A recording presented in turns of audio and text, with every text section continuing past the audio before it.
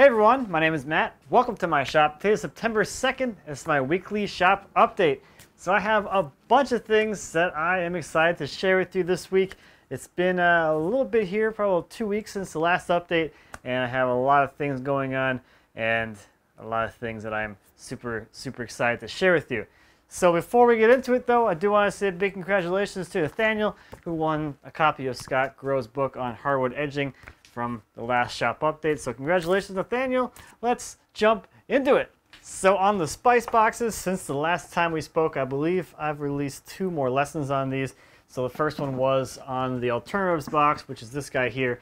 That was covering the actual assembly and gluing it up and all of that. And this week's, oh look, tape.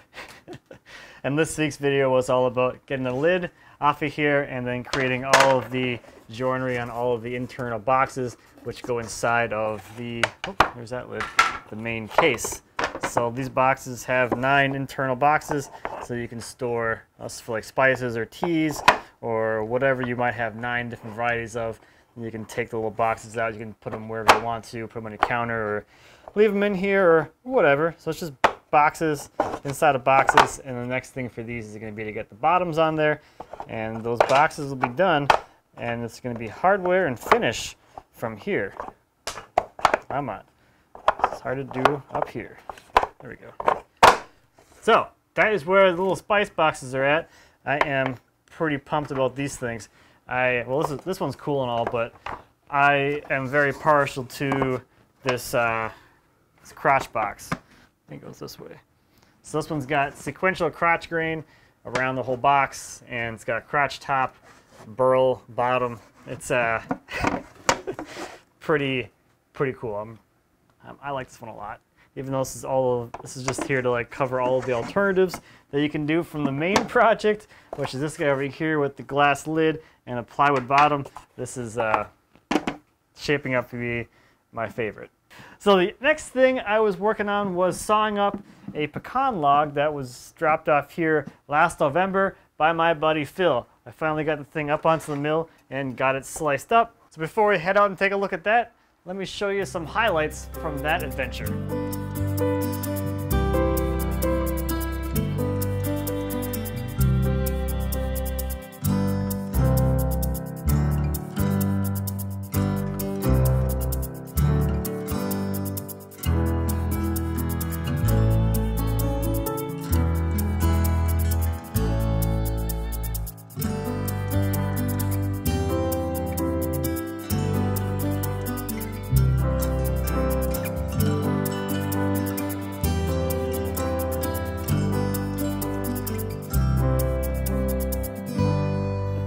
So here is that pecan log all sliced up and uh, out here drying. This was a fun log to cut. I'm really liking the look of the pecan. It's got some really nice reds and oranges in it and uh, just some overall really interesting figures. So I'm looking forward to working with this once it's all dried.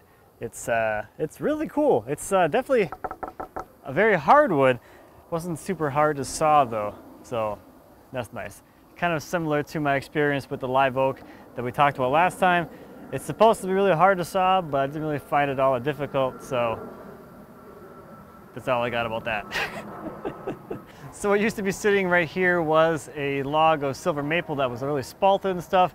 Last time I was talking about how I had brought that over to be vacuum dried. I did get those back. Both logs were vacuum dried, and that turned out really, really amazingly well. It was three days in the kiln to go from 15% down to seven, and there was also a green slab that I had cut back in June that was in there as well. That went from wet essentially down to 8% in the same uh, time. So overall, some pretty ridiculously interesting technology.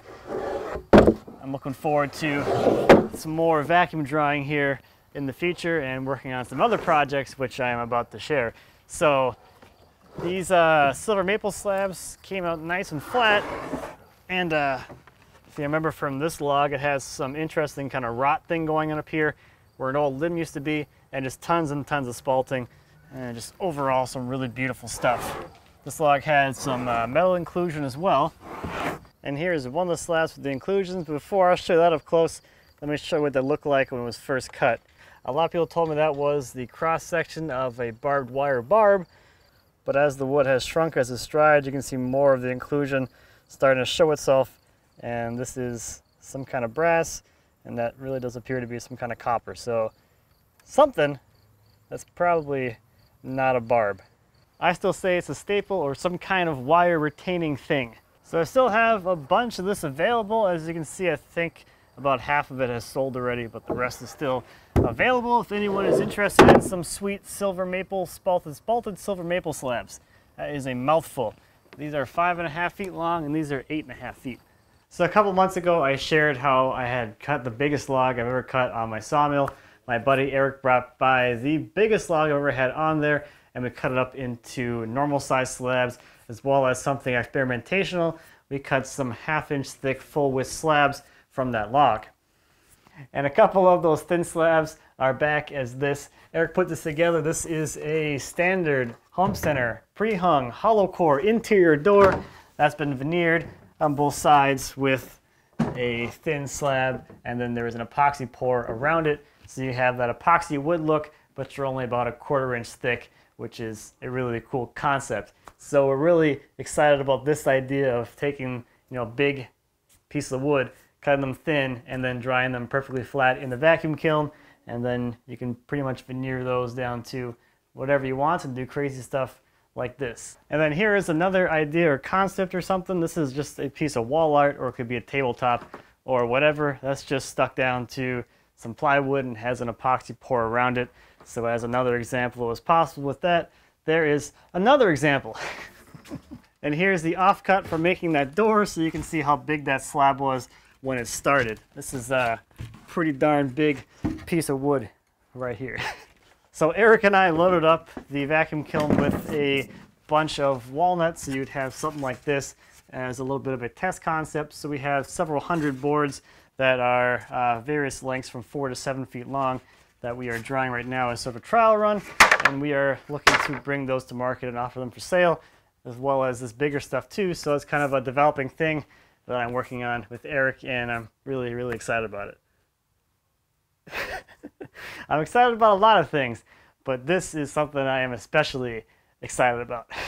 so I'll have more details on this stuff as we get further with the development, but the next video I'll put out will be the one on sawing that log that turns into the door as soon as I buy a doorknob for that door so I can shoot the outro. so that's all I've up to this week.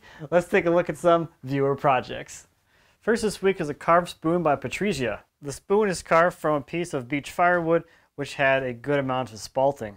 Patrizia's boyfriend Ron made a video of the carving process and it's up on his YouTube channel and I'll leave you a link to that to check out. Next this week is a porch table by Pete. Pete made this table for the screen porch at his parents' cottage. It's made from rustic hickory and the base is done with mitered mortise and tenon joinery. The voids and knot holes are filled with a pourable epoxy and it's finished with a ZAR exterior water-based polyurethane. Next is a hall table by Matt. Matt says this is his first piece of real indoor furniture. It's made from curly cherry and the whole thing was made old school with a mallet, planes, and chisels. Matt doesn't have any power tools yet. Next is a wooden knife by Andrew. Andrew is 15 years old and he made this knife for a friend. The blade is made from bloodwood and the handle is made from bocote. Andrew did the majority of the resawing and shaping on a bandsaw that he inherited from his grandmother when she passed away. And don't forget, at the end of the month, I'll be presenting at the Woodsmith Workshop. I have a session on working with slabs, and I'm also doing the lunch keynote on milling your own lumber. So if you're interested in attending that event, I will leave you a link down in the description. But I think that's all I have for this week. Thank you as always for watching. I greatly appreciate it. Any questions or comments about anything I talked about today or anything here in my shop, please feel free to leave me a comment. As always, I'd be happy to answer any questions you might have. And until next time, happy woodworking.